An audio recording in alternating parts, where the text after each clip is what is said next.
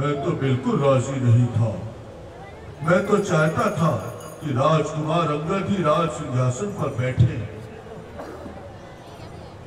जब तक वाली भैया लौट ना किंतु सबने उसे नाबालिग बता दिया और भाभी तारा, उनके भाई तार और पिता सुशेण की सम्मति से राज परिषद ने मेरा अस्थायी राज्य अभिषेक कर दिया।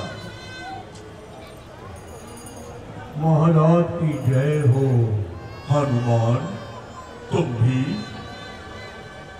हाँ महाराज, आप तो पहले ही बचकर निकल आए। किंतु बाली पागल हाथी की तरह किसकिता को तहस नहस कर रहा है। आपके सभी साथियों और सहयोगियों को बंदी बनाकर मारा जा रहा है।